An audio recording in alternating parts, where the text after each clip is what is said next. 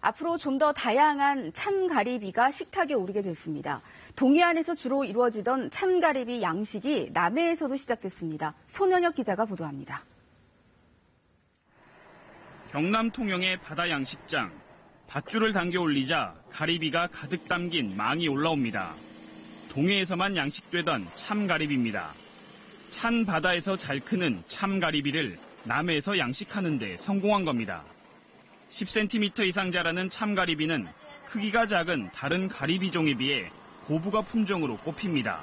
일본에서 반사능 여파로 수출하기 힘든 유럽 지역을 공략한다면 충분히 다량의 시장을 확보할 수 있을 것으로 수온이 높으면 폐사하는 참가리비는 여름을 나는 것이 양식 성공의 관건.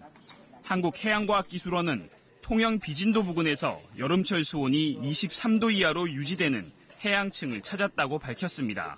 수심 30m 이내에는 이하에 수온이 23도 이하를 유지하고 있기 때문에 그 층을 찾아서 그 지역에다가 양식을 하고자 하는 거죠. 남해는 겨울철 수온이 높고 플랑크톤이 풍부해 참가리비의 성장 속도도 빠릅니다. 동해안에서는 참가리비를 1년 반을 키워야 하지만 이곳 남해에서는 7개월만 키워도 상품으로 출하가 가능합니다. 통영시는 양식 기술이 안정화되면 연간 20만 톤, 2조 원어치 이상을 생산할 수 있을 것으로 기대하고 있습니다. KBS 뉴스 손원혁입니다.